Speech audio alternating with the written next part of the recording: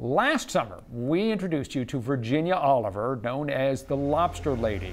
She drew national attention because she was 101 years old and still lobstering alongside her son. Virginia and her son Max, who is 79, have renewed their fishing license for this year.